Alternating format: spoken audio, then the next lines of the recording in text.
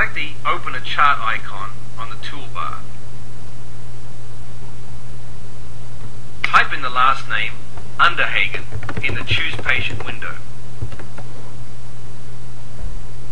Select the patient, Robert Underhagen.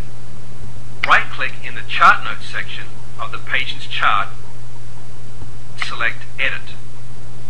Click in the blank chart note text area on the left-hand side.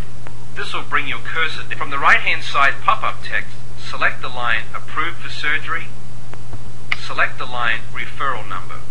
Type in the following referral number R1246 and then click the Back to Chart button in the lower left corner.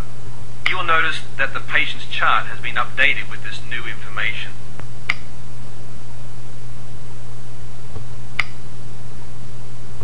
Select Robert Underhagen from the schedule. Delete the note Needs Referral. Click the Done button and close the schedule.